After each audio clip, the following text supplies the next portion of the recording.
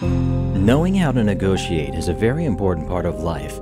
Throughout Christian's life, there's been lots of times when he had to negotiate with all kinds of people. Today, we're going to be learning about some of these stories right here on Starship Lockjaw. Starship Lockjaw, baby! Come get your service your daddy, baby! Alright, welcome back, my friends. Uh, today, we're learning again about some of Christian's negotiations over the years. Uh, and knowing how to negotiate can really do a lot of good stuff in your life. When you know how to treat others and you know how to work things out with them, it can do a lot of great things for you. We're going to learn some of these stories that have happened to Chris Chan. If you don't know who Chris Chan is, he is a famous internet person, very famous on the internet, because he, uh, well, he's been through a lot of weird stuff on the internet. But he's a content creator. He makes YouTube videos. He created Sonichu, who, uh, hold on, Sonichu said, Hey, you talking about me? What's up, Sonichu? High five, brother. Good to see you. Hey, Shaman. All right. As you can see, oh, Sonichu, come back. What's up, Shaman? Tell him, tell him who you were based on, uh, who you inspired by. I'm basically kind of like Sonic, but I'm also kind of like Pikachu. Nice, nice. But I'm an original character. I know you are, brother. I know you are. Pound it, brother. Pound it. Boom. Hell yeah. Uh, Chris Chan made Sonichu. And, uh, yeah, cool stuff, man. Cool stuff. Hey, let's learn about some of these negotiation stories. If you like this kind of stuff, hit the subscribe button if you're not subscribed. Turn notifications on, more important than anything. And, uh, hit the thumbs up and we will begin. Turn the notifications on. Do it, baby. Do it. All right. Do it for Shaman. All right, let's begin. Well, when Chris is dealing with people, they often experience a unique form of negotiation with him. Uh, apparently, he can be pretty entitled at times, a lifetime of coddling that he's experienced, and other factors beyond his control. They say that Chris has no grasp on how to compromise and often fails to understand what sort of bargaining position he's in. So I'm guessing he's not hasn't done very good at compromising. Wait, he makes demands of them as if he were the one with the leverage. Some have experienced the oddity of having Chris run away from a situation where he was purposely given the upper hand. When it comes to dealing with Chris directly, one can only expect that he will always take the path of least resistance, even if it doesn't benefit him. Sometimes we do take the path of least resistance. Yeah, but Chris Chan's been through a lot. That's one reason I like Chris Chan, man, because Chris Chan's been through a lot of stuff on the internet with a lot of people. But Chris Chan never let that stop him from what he was doing. Kept on pushing, kept on grinding. That's what we all got to do. We can learn some things from Chris Chan about how to always pursue things that we want in life. Concept of compromise. Negotiation is based on compromise. Both parties must work together and make concessions to each other in order to find the best possible solution to their problems in a satisfactory manner. Chris doesn't seem to understand this, and arguably can't understand this. Oh wow, given his severely stunted ability to understand that other people have thoughts and feelings that are different from his own. Being completely egocentric, Chris believes that in any exchange, both parties must share the same viewpoint his. Chris can't stand any form of prolonged confrontation and quickly tires if his demands aren't met exactly as he has made them. Is that the case? Hmm. Can you think of any cases where that's happened with old Chris Chan? Yeah. It's important that we listen to what other people say too. We consider it, you know? Maybe we don't have everything figured out. Maybe others can give us good ideas, things we can learn. Yeah. Well, we can always grow together and learn, so it's not over for Chris Chan. Chris Chan's got Chris Chan's got time. Today I got time, cuz. On numerous occasions, Chris has tried to negotiate either by making ridiculous demands or outright refusing to give anything up, or do anything at all for that matter. After he makes his case, his mind is closed on the matter, and he is unwilling to budge. When further pressed, he often shuts down completely and walks away from the table into the waiting arms of his PlayStation 3. Never give up, man. You can always negotiate. Learn how to negotiate. Working with people instead of against them, this is something amazing. You want to make friends with people because I've made some great friends throughout my life. Guess what? They end up teaching me things. They end up helping me, guiding me, showing me my way to the light. And then I've made enemies with some people. And the enemy, things typically don't go too well with them. Some people make enemies with me. Things really don't go well for them. We want to work with each other. We want to be friendly. We want to treat each other with respect. All right? I treat you with respect. All right? I put respect on your name. I ain't kidding, brother. Hey, that's why so many of you love to come hang out on the live streams every night at 8 p.m. Central, where we all put respect on each other's names. That's what we do. Hell yeah. Sounds like kidding, brother. That's Lockjaw. Man, you ain't kidding. Thumbs up the video for respect. Put some respect on my name. Darn! One of the earliest examples of Chris's attempts at negotiation uh, was after he was expelled from community college. In emails with Mary Lee Walsh and himself, Chris was unapologetic about his violent outburst that he had in their previous meeting. Instead of apologizing, Chris offered to never hang notes on the wall again and to consider stopping my silent treatment of uh, his guidance counselor. To further sweeten the deal, Chris offered to move them up on his scale of respect by two points. Chris believed that an imaginary measurement of his personal opinion was an extremely important bargaining chip.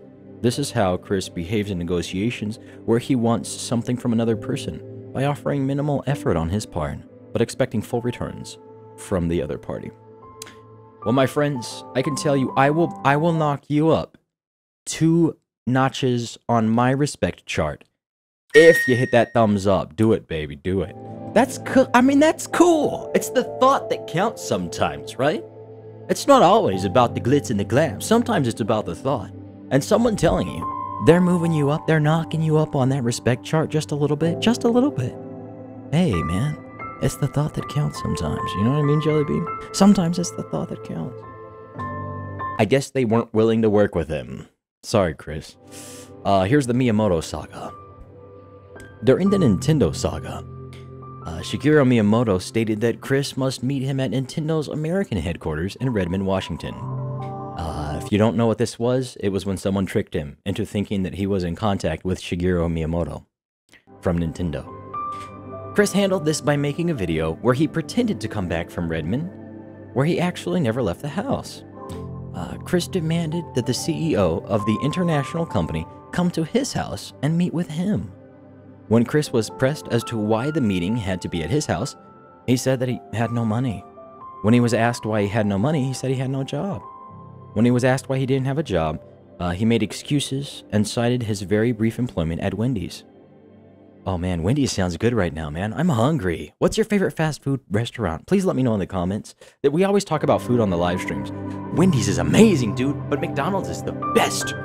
What's your favorite fast food place? I want to eat. He also insulted Miyamoto, asking him, Are you the Mario who plays fair or the Bowser Koopa who cheats and lies? The sort of pass the buck attitude is very common when dealing with Chris. Nothing negative can ever be his fault. So he he thought he was talking to Shigeru Miyamoto and he asked him, "Are you the Mario who plays fair or the Bowser Koopa who cheats and lies? What are you? Are you the Mario or the Bowser?" Oh man. Hey baby, I'm the I'm the Wario brother. Hell yeah. Or what Luigi, right? What Luigi? Uh, audiobooks. Got some audiobooks. Let's talk about it. What do we have here? In 2009, Chris came into contact with Vivian Gee. Vivian was very helpful to Chris at first, but Chris refused to hear any of her input. As a result, their relationship soured, and Vivian started a popular Sonichu parody audiobook that Chris despised. He ranted and raved, demanding that the audiobooks be removed. They were not, but one month later, Chris quickly changed his tune.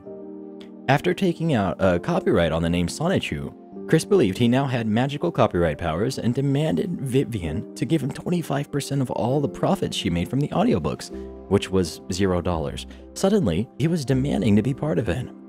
Now, Vivian Gee, uh, we haven't learned about her before. Maybe we can learn a little bit about her so that she created Sonichu audiobooks, huh?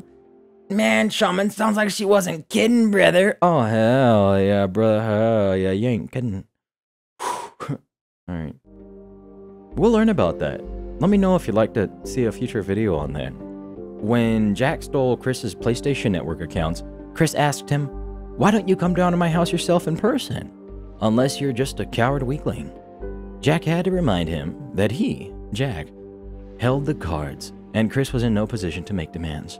Well, hey, I mean, thumbs up for the confidence, right? Hey, I mean, Chris Chan's like, he's like, bruh, you come to my house, bruh, unless you scared, bruh. Pull up, bruh. Hey, pull up, bruh. That's pretty, that's confident, man. That's ain't nothing wrong with that confidence. Now on to the sweetheart sagas. Whenever Chris wants to meet one of his sweethearts in real life, apparently he usually tells them to come meet him, no matter how difficult such a trip would be. He knew Panda Halo. He wanted her to come and meet him, despite the fact that Panda Halo lived all the way over in Australia. He wanted Julie to come to him, even though she was supposedly a poor immigrant who couldn't afford a car or a bus fare. He wanted Casey to come to him, even though she lived in the DC area, which is an hour or so from Ruckersville.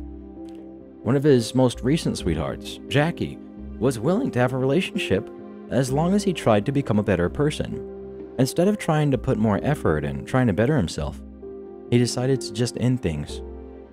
During the Julie saga, he made numerous deals with Clyde Cash. One of these deals was that he would clean his room in order to save Julie's life, and that he would do a video in order to prove his room was clean. In order to avoid actually having to clean his room, he merely pushed some of his stuff to the side and filmed his floor for 30 seconds before he did his captain's log. A, a, a plus for effort? Actually, that wouldn't be A plus for effort. Uh, he, he kind of tried. Now, later on, when he was given his own wiki for free, he demanded complete executive control from day one. In Chris's mind, this meant that every demand he made would be fulfilled by the staff, and that anything done without his permission would be removed immediately. He insisted on having his background the way he wanted, and threatened to stop working whenever the webmaster displeased him. Often, not so nice folks would gain access to Chris's PlayStation account and make various demands, the most common of these demands is that he sell or throw out some of his beloved toys or games. Despite his claims that he plays with everything in his room, a quick glance at his PSN account shows otherwise. Most of his PSN activity is divided between Little Big Planet, God of War 3, and Mod Nation Racers, which leaves most of his vast collections of games untouched. Even though he doesn't use the majority of the toys and games he owns, he refuses to sell them. This refusal is usually followed up by him saying that he doesn't have the money to do something that would improve his life. That's kind of sad. Yeah. Hey, always get you a job when you can. Always. Because having a little money, you got to have at least a little money and it can really improve your life. Always, always be making a little bit of money. Hell yeah. Between the late August 2010 and early September 2010, Chris met with the opportunity of gaining $9,000 for the destruction of his PlayStation 3. Needless to say, it didn't go well. However, Chris tried to haggle, albeit very poorly, with Clyde Cash and Surfshack Tito to get something that never existed. The ultimate result of this was Chris actually waiting for his money at the Charlottesville Fashion Square and being tricked into going there. After realizing he had been tricked, he ended up telling them to go point at your own damn snouts and oink like Eric Cartman.